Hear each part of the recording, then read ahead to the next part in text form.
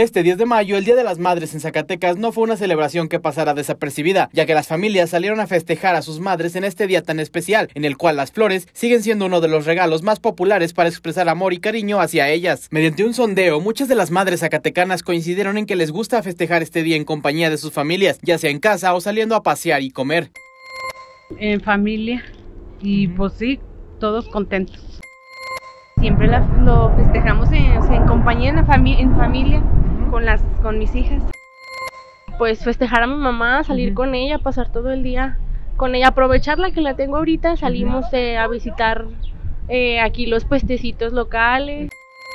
Pues más que nada valorar mucho a la mamá ahorita que la tenemos, porque luego al rato se mueren y ella andamos llorando.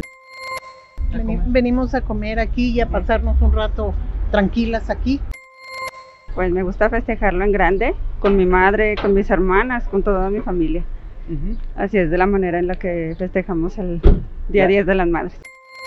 En cuanto a los regalos que más prefieren, muchas de las madres declararon que no les importa lo material, puesto que prefieren el cariño y el amor de sus seres queridos pasando tiempo con ellos. Ante la gran demanda por este día, se pudo observar una gran cantidad de personas comprando flores para regalar.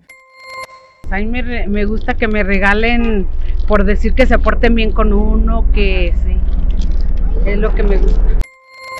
Sí, pero todas están chiquillas mis hijas y no me regalan. ¿Pero qué le gustaría que le regalaran? ¿Qué es lo que más? Me gustan más las flores. ¿Qué es lo que te gusta que te regalen?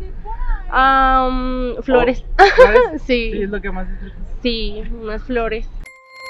La verdad me gusta todo, me gustan los zapatos, me gusta la ropa, me gustan los perfumes, me gusta todo, me gusta también que me lleven a comer, todo eso.